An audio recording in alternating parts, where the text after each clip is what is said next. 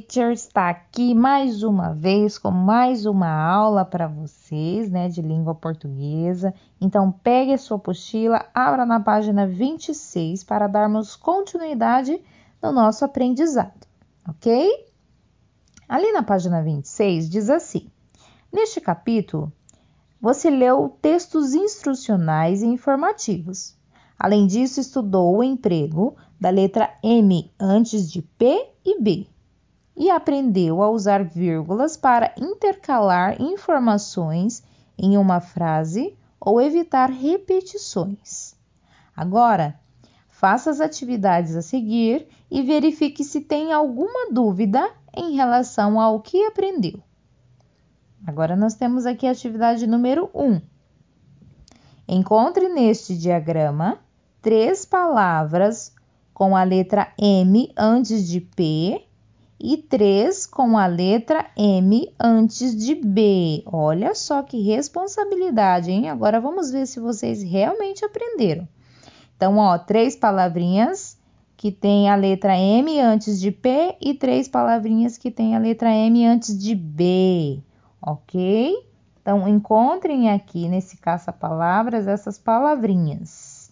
Podem pintar, podem circular, tá bom? Quando vocês acharem as palavras. Número 2. Que palavras você encontrou na atividade anterior? Reescreva-as a seguir. Então, vocês vão reescrever aqui, ó, as palavrinhas que vocês encontraram nesse diagrama.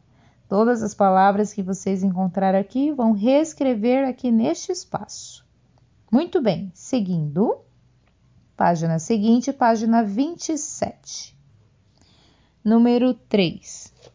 Reescreva as frases a seguir conforme o exemplo, fazendo as adaptações necessárias. Então, vamos ver o exemplo aqui, ó, neste quadrinho branco.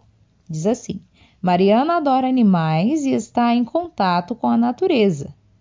Mariana é uma menina alegre e estudiosa. Agora vamos ver como que ficou com a adaptação usando a vírgula. Ó, Mariana, uma menina alegre e estudiosa, adora animais e está em contato com a natureza. Viram a diferença? Então é isso que vocês vão fazer aqui na letra A, B e C. Letra A. Mariana conheceu o zoológico de sua cidade. Ponto. Mariana foi ao zoológico no fim de semana. Então, precisa transformar essa, essa frase usando a vírgula. Letra B. Mariana viu um tucano pela primeira vez. Ponto. Mariana estava com seu irmão caçula. Muito bem.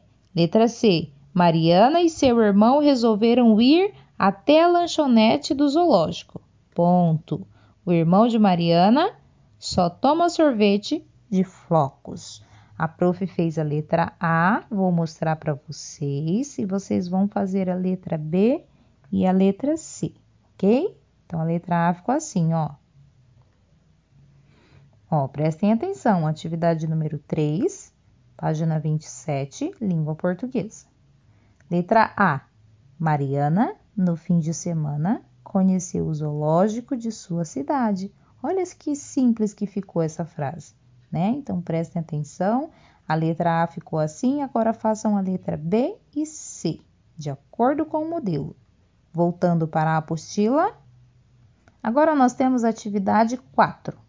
Diz assim: Agora produza um texto usando as frases do exercício anterior, começando com a do exemplo. Empregue vírgulas sempre que achar necessário e evite repetições. Então, ó, vocês vão pegar essas três frases aqui do exercício anterior, a frase da letra A, B e C, vão colocar aqui nesse espaço em forma de texto. Vocês vão formular um textinho. Podem fazer adaptações de palavras, é, de, de pontuação, tá bom? Façam uso da vírgula, evitando repetições, tá bom? Então, com essas três frases aqui da atividade anterior, vocês vão fazer um pequeno textinho, ok? Prestando atenção no uso da pontuação. Seguinte, página 28.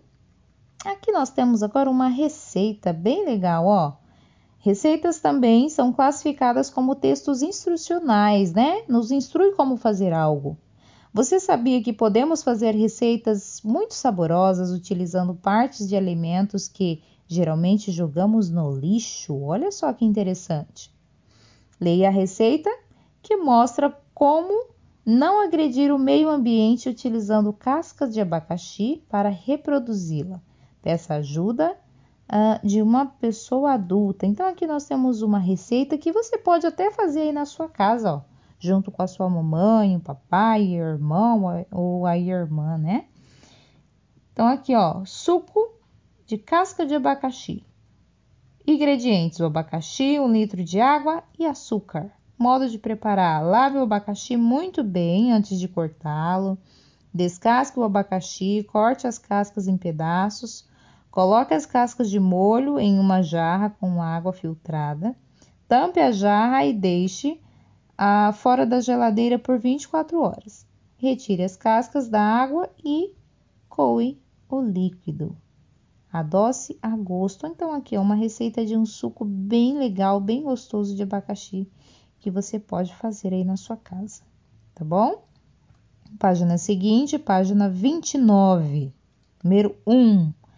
Após organizar os, ingredi os ingredientes, qual é a primeira instrução que se deve seguir? Depois de organizar os ingredientes, qual a primeira instrução que se deve seguir? Então, ó, vamos voltar aqui.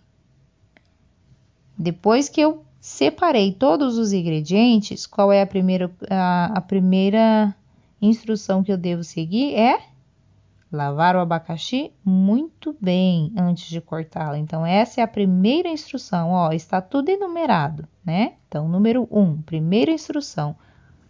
Número 2, você acha que poderíamos fazer o suco começando, por exemplo, pela instrução de número 5? O que, que você acha?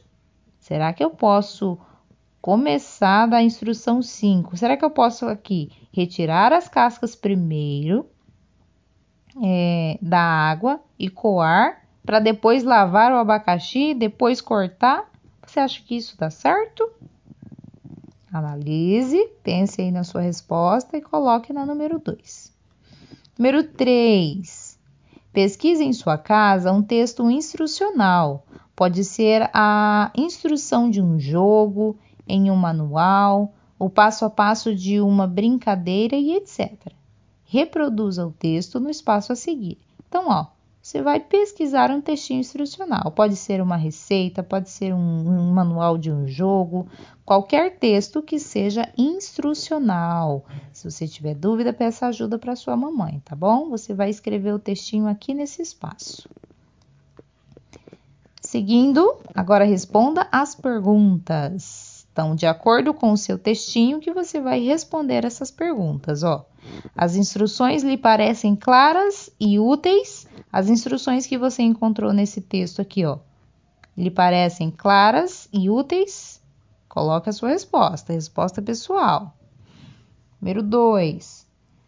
Havia imagens ilustrando o texto que você encontrou? Resposta pessoal. Coloque a sua resposta, ok?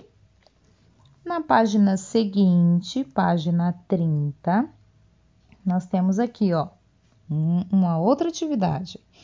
Em grupos de quatro alunos, vocês vão elaborar um catálogo de pássaros brasileiros. Então, era uma atividade para nós fazermos em, em sala de aula, né? Em grupo, com os colegas, mas nós não podemos no momento, então você vai fazer aí na sua casa. Você pode fazer junto com a sua mãe, com alguém que você queira que faça aí junto com você, tá bom? Então vamos lá, ó.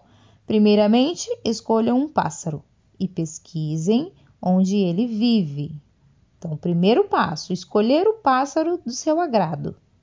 Depois você vai pesquisar onde ele vive, de que ele se alimenta, os seus hábitos, seu tamanho, cores, peso e nome científico, ok?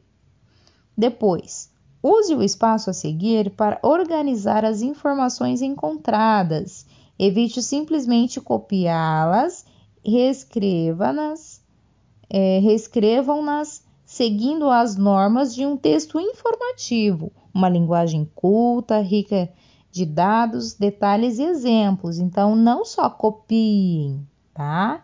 Faça de um jeito, faça do seu jeito, faça da, de acordo com a sua escrita, né? uma linguagem culta, rica de dados, detalhes e exemplos, tá bom? Vocês vão reproduzir esse textinho aqui, ó, neste espaço, a sua pesquisa sobre o pássaro. Página seguinte.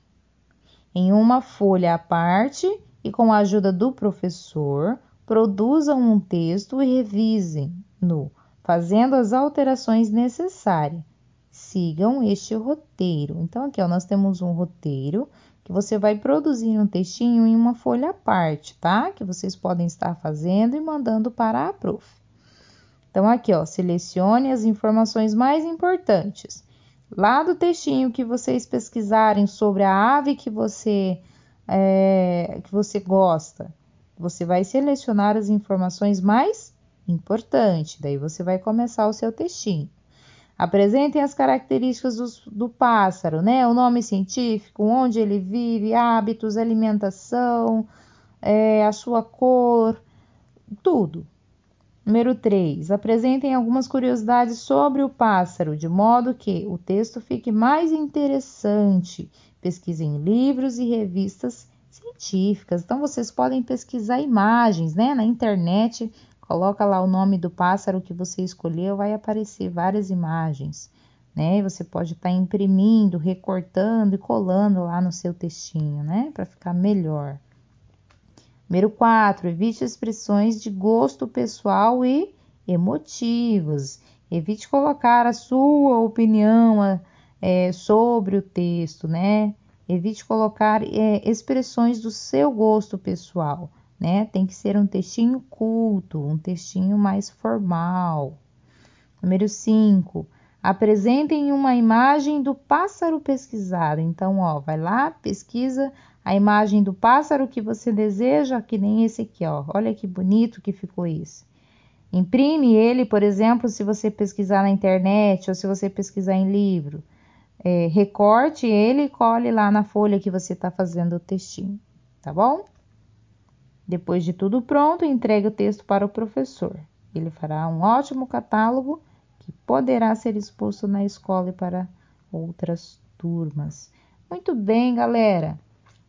Prestem atenção, respondam as questões. Essa foi a nossa aula de hoje e a prof encontra você na sua próxima aula de língua portuguesa, ok?